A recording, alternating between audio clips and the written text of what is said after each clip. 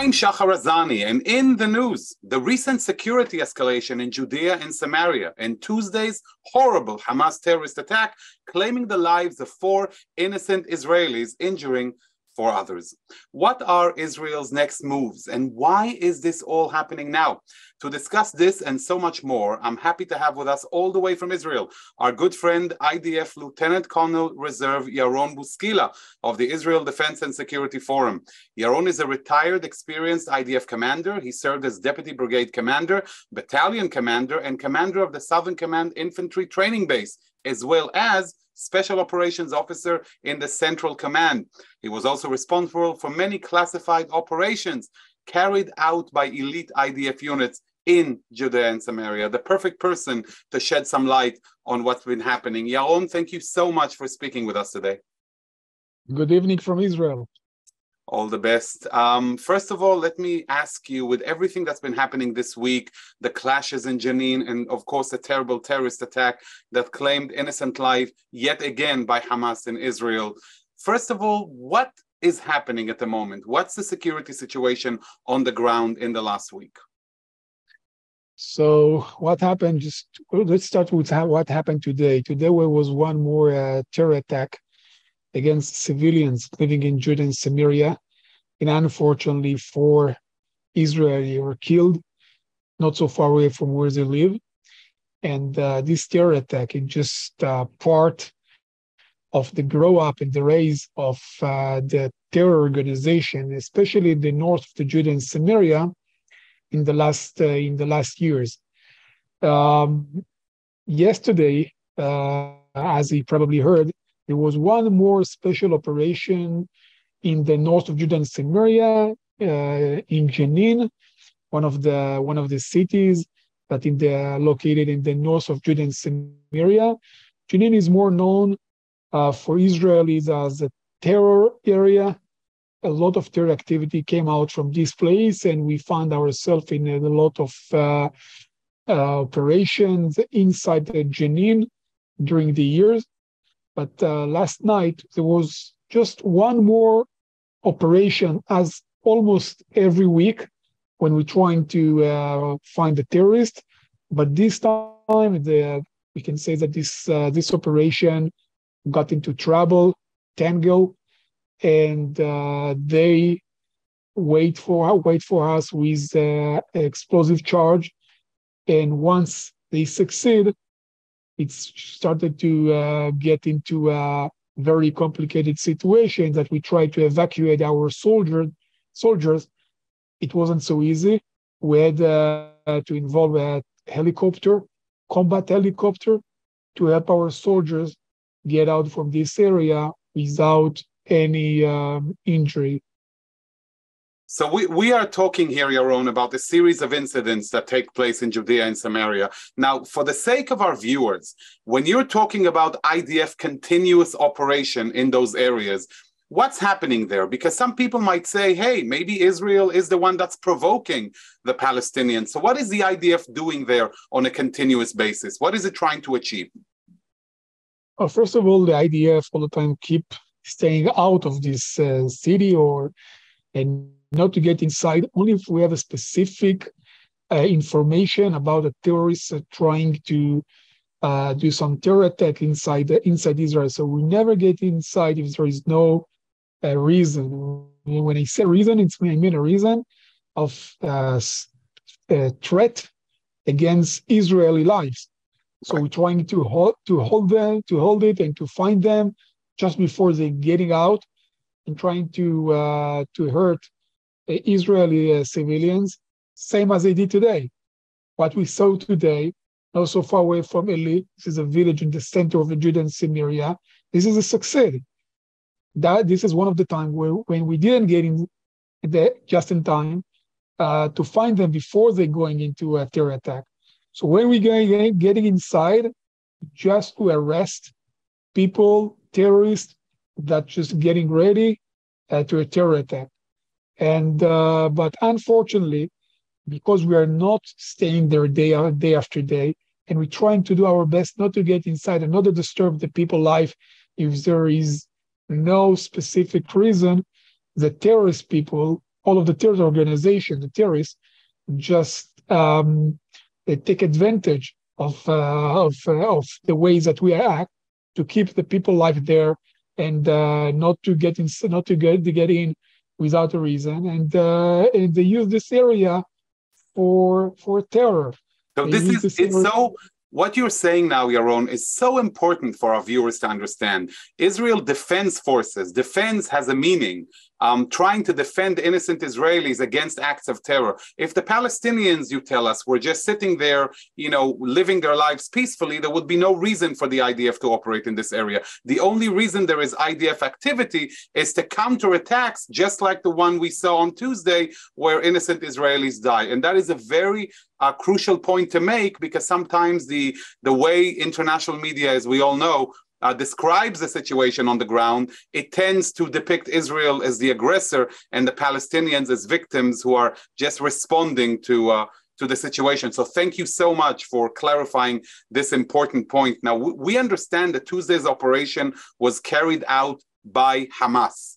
Um, Hamas, by the way, sits in Gaza, controls the Gaza Strip. Israel um, and, and Gaza are currently quiet, and yet Hamas is proud to underwrite, finance, lead terrorist activities in Judea and Samaria. How do you see that dichotomy? Can we, on the one hand, deal with Hamas in Gaza, and on the other hand, let it run amok in Judea and Samaria? Well, this is a very good question. So we're trying to separate between what's going on in Gaza, and what's going on in the Judea and Samaria, because we're trying to keep the PA still relevant to this area. Once we are um, we are getting inside and we're fighting against the Hamas uh, without limits, so we are not get, giving the, to the PA the opportunity to do that. But unfortunately, in But the wait, the PA, year- the PA, just for the sake of our viewers, the Palestinian Authority. Mahmoud Abbas. Exactly. Exactly. But unfortunately, we gave them the chance to do so in the last year. We actually try, we almost didn't uh, our forces into the north of Judea and Samaria at all. Even when we when we had specific information about the terrorists, we gave them the opportunity to do so because they asked uh, to be the responsible for the life and the security and we can say that in somehow we gave to our enemy the responsibility to defend our life. Right. So they didn't they didn't do, uh, uh, did they didn't do anything about it because they didn't have uh, no. Uh, um, I think they we could say that uh, they have no wish, no will to do that, and no ability to do that because the corruption in the Palestinian Authority was so hard that the, the civilians, the Arab civilians, pushed them away from the, the north of Judea and Samaria, almost for all of all of Judea and Samaria, and the Hamas just get got into this vacuum, and uh, not only the Hamas, uh, even the the, at the Jihad Islamic Palestinian organization and some other organization, and right now the Palestinian Authority, we can say like like in 100% not in the area of, at all. So this attack is a direct result of the, we can say, uh, intensification of the terrorism in the northern Samaria. Uh, the, it's uh, the weakness of the Palestinian Authority and the lack of the military presence in the area. So the um, when you're talking about the Palestinian Authority, Yaron, um, we know the Palestinian Authority and Mahmoud Abbas don't exist in the Gaza Strip. Now you're telling us that they, they, they're barely present in these hubs of terror in the northern parts of Judea and Samaria, where they become clearly capitals of terror that Israel has to counter. And yet, on world stage, we just saw Mahmoud Abbas visiting Beijing. There, there are talks at the UN. There is diplomatic attacks against Israel. Under these circumstances, how do you see the future of the Palestinian Authority and Israel's relationship with the PA? Where is that going to go if the PA doesn't even exist as an entity and is not able to deliver on the most important element of any future agreement or past agreement for that matter, which is security? Well, honestly, I don't see any future to the Palestinian Palestinian Authority not because I want or I don't want them to keep uh, and to be relevant. It's because they did everything uh, not to be, to still and to still and to be still exist in this area. They, uh, as I said before, in the in the Oslo agreement, we gave them all of the uh, opportunities and uh, to uh, to be there to control this area, to control Gaza, to lead Judea and Samaria to a better life but they didn't do so. Actually, on the same day that they signed an Oslo agreement, in the same day they established two terror organizations that they, they feed day after day, because in one hand they want to keep coordinate with Israel, and the other hand, they want to keep and fight against Israel because in their belief, the fight never ends. In their belief, there will be no peace agreement until there will be no one Jewish, uh, one Jew in, in Israel, in all of Israel, not in the Judean Samaria. Not I'm saying that, they saying that. Every time we try to uh, uh, get into a peace agreement with them, we keep heard time after time that the real uh, uh, thrill of, uh, of, of, of the leaders um, they thrilled to uh, to uh, there will be no Jewish exist in the Judea and Samaria. So, as I said before, the corruption of the, the Palestinian Authority just make them be uh, and, uh, not irrelevant in their population, in their by by their civilians. And right now, they keep losing city after city. Jenin, Nablus, and uh, uh, even uh, Jericho and and and Hebron, Kalkilia. Wow! Right now, that's a bleak very, very that's a bleak future. You know you, are talking about palestinian demands. You know there is a common claim that we hear continuously hear um, against israel that says it's all about the settlements. If only you cease building the settlements then there will be peace with the palestinians what you tell us now, Yaron, is that's not the case in the eyes of the Palestinians.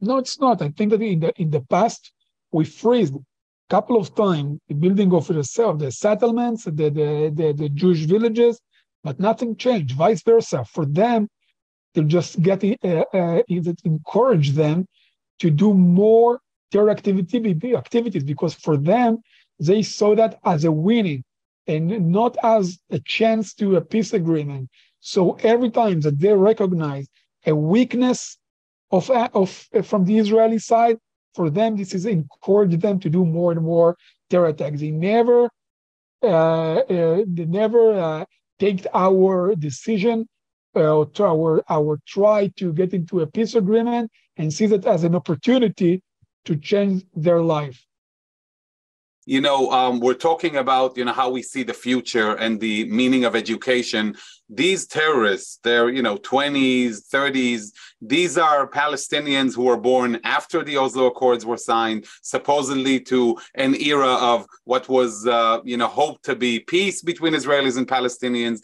And yet we neglected all of those elements of education, allowing education for hatred and terror to continue. And now we are seeing the festering results. Um, for those of us who still remember, you know, the beginning of the 2000s when Israel had to um, operate operate extensively in those areas in Judea and Samaria to counter similar terror during the Second Intifada, it seems that this generation, which didn't experience um, those operations, which were very painful. I mean, terror, of course, to Israel, but for the Palestinian population, how do you see Israel moving forward? Do you think there is a, a, reason for yet another Israeli incursion into Judea and Samaria? Do you think that Israel should operate against Hamas in, in Gaza? How do you see that? Because you have a lot of operational experience in general and specifically in that area, Yaron. I think that in this time, only a large scale operation will change the situation in the area. Keep doing a, spe- a, special operation. Special operation is a small units that going uh, to a specific place. That's not ch- change anything. Yes, we stop we stop some of the terrorists, but right now the terror is so huge and so big that I don't think that a specific or special operation can change anything. we need to go to a big operation, same as Protective Edge that we uh, in 2000 I was participating in Protective Edge as a company commander, and look what happened in 2007. Uh, uh, after seven years of fighting against the terror, something changed. And if you if you remember, and maybe some of your audience can remember, in 2007 the terrorists signed on a specific agreement. It's called the Wanted Person Agreement, and it was signed by by them because they understood that they cannot uh, achieve anything at all. And Zakaria Zubeidi, one of the head of the terrorists in North the Jordan Samaria, one of the commander of uh, the, the, the, it's called the Jihad battalions. He signed of, of this agreement and he turned his life from a terror leader to uh, a theater manager. So that was yeah so that was um, yeah i believe you're referencing defensive shield operation during the second defensive intifada yeah, which sorry. changed which had a strategic impact on the ground. And you're saying you're telling us that this is what's needed at the moment. Do you think that israel might go in this direction yeah, you might go into this direction. I think that that's the right decision to take right now. It's different because in 2000 it was against the PA as, as well, because the Palestinian Authority turns our weapons against Israel. Right now, we're dealing only with terror, terrorist organization. I think that's the that's the point right to do that because if we will wait, we will see much more ammunition, much more guns, much more explosive charges, and I think it will be much more difficult and will pay in our soldier life to bring the situation and to bring to bring uh, back uh, to a normal as it was between 2007 to 2015. You know, um, you're talking about the professionalization process that terrorist organizations in Judea and Samaria are going through. And one of the things that comes to mind is the attack that took place against the IDF at the beginning of the week when the explosive uh, uh, device was uh, used against the armored vehicles of the IDF. The entire event was filmed on camera um, used as propaganda internally, boosted the terrorist organizations on the ground, almost the same propaganda systems that were used, unfortunately, to seeing uh, from Hezbollah in Lebanon. There is a certain uh, escalation, a certain upgrade in the capabilities under the watchful eye of Israel and apparently the irrelevant eye of the Palestinian Authority. First of all, how did that happen? And who's behind this, Yaron? Yeah, and I think first of all, you're you're you're you're right. If you could heard uh, carefully uh, this uh, video in this video, you can hear that they using a specific um, radio uh, to communicate between each other. So it's not one one man with a gun or random people that just shooting from uh, from many places. That was very organized. This is organization of terror. And it wasn't like that if you're just going back like eight or seven years. It wasn't like that because we were there. We were inside this area. We were have the ability to get inside and to go out whenever we want. But unfortunately, our government decided that the forces are not allowed to get inside. Only the Palestinian Authority will do the job for us, and they didn't. And that's how the, the, the terror rise again. That's why the terror organization becomes stronger. That's why we see all of this uh, shooting and all of these uh, explosive devices that we saw in this in this movie. And once you, you just leave a vacuum, in this vacuum, it's not just staying empty. Empty. Someone is getting inside. In this case, the terror organization just use this vacuum, and they, we can say that the Iranians as well Right. I was going to ask you about the role of Iran in all of this. Yeah. So if you're just trying to find and to put the, on the, on the to point where it all came from and who is just direct them exactly what to do and where from all of this weapon coming from exactly from iran our uh, western uh, border is, is not close enough and a lot of smuggling of weapons coming from Jordan into no, Israel. the eastern border. The eastern, eastern border. border yep. Eastern border, sorry. From Jordan into Israel by Iran. And then doing that because they want uh, that to flood all of the area with a lot of weapons, not only in Judea and Samaria, even inside Israel, inside the Arab society. So right now, we can you can hear in the by the news that they use using it especially for uh, for crime for for criminal for crime reason, right. but but still they can use this weapon and they did it before and to turn to this weapon into a terror activities for terror not only for crimes so Iran continuously is continuously busy in destabilizing the region as much as possible. Both you're saying within Judea and Samaria, and even within the um, you know sovereign borders, uh, internationally recognized borders of the state of Israel. Not to mention, of course, its nefarious and negative involvement in other areas in the region, trying to destabilize what is viewed as the more moderate regimes. And in all into all of this mix, we're seeing Israel in the need to defend itself against these nests of terror. And if I understand you correctly, every day we wait, we may pay a, a, a, more a dear price if we move later on because these problems will continue to fester. They're not going to go away. Exactly, exactly. That's what I'm saying, and I, I keep saying today in uh, many interviews in the Israeli TV, and not only me. First of all, all of the IDF, the member in the IDF, the high rank colonel that uh, belong to the IDF, and even in the government, you can hear more and more that they saying that that's the point to go into a big scale operation if we want to change something and if we don't want to lose any other life, soldiers and civ- Israeli civilians right? Specifically, um, if we're talking about defensive shield, I think in the public memory, one of the, and I think it's worth uh, reminding our viewers of that terrible moment when the uh, Jenin, the IDF operated in Jenin. And if I'm not mistaken, and please correct me because you were there on the ground, um, there was a decision taken not to use aerial attacks, but to bring in reserve uh, duty soldiers into Jenin to uh, take out these terrorists. And at some point, um, they were captured in a big yard and attacked, and many of them lost their lives. I believe 13 in Jenin. soldiers in Jenin, Jenin itself. So we were already, as we say, in that moving in the past. Yeah, you're right. But I think that the situation that uh, in these days was different because the terror was much more massive than in these days. And we don't need to wait we don't need to wait to get into this situation again, and they don't need to wait to make the terror stronger. That's exactly the point to change the situation, to change what we're dealing with.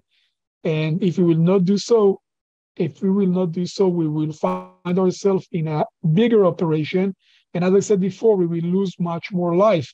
And I think for the security of the Israeli, and I can say even for the security of the Palestinians as well, for their better life.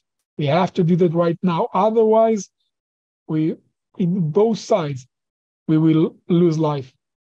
Lose life. You know, one of the things that um, so many people out here miss about what's happening in the region is just how complex everything else you know, they think it's so simple uh, when they say sentences like, it's all about the settlements. If only this happened, peace will prevail, without realizing, like you told us today, about the Palestinian Authority, while Mahmoud Abbas, the head, is traveling to Beijing to uh, unveil another um, Arafat statue. Um, on the ground itself, the Palestinian moderate leadership doesn't exist in Gaza and is irrelevant in major cities in Judea and Samaria. And the result is yet more escalation. So we can all uh, join you in the hope for you know peace and tranquility in Israel, and we'll keep our eyes focused on what's happening in the next few days and weeks. I want to say a big thanks to you, Yaron, for taking the time to join us and to share with us your perspective on what's happening on the ground. It means a lot because there is a huge gap of information when it comes to the realities on the ground, not just with the general public, but also also with some of the pundits and, and leaders in the area. So thank you for, for um, allowing us uh, your precious time and sharing these explanations. And most of all, thank you for your service for the state of Israel and for the Jewish people. Thank you for inviting me to this interview. Thank you very much to you, to, to your audience. And um, as I said, we all join you in prayer and hope for peaceful times for the people of Israel, and may terror be Amen. defeated soon. Um, to our viewers, I'd like to thank you all for watching yet another In the News covering the most important news items of the week. I'd like to thank our director, Sloan Copeland, JBS's acting CEO, Dara Golob, our technical manager, Michael Paley, transmission manager, John McDevitt, and to our wonderful producer of In the News, Carol Lilienthal. For JBS, I'm Shahar Azani. Until next time, see you soon. Shalom and lehitraot.